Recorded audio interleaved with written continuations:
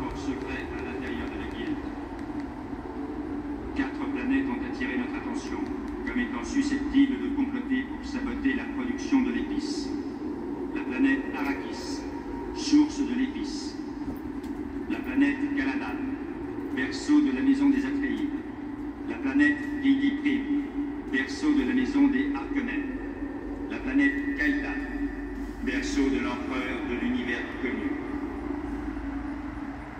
Envoyer un navigateur de la guilde de troisième échelon sur Kaitan pour exiger des détails de l'empereur. L'épice doit continuer à.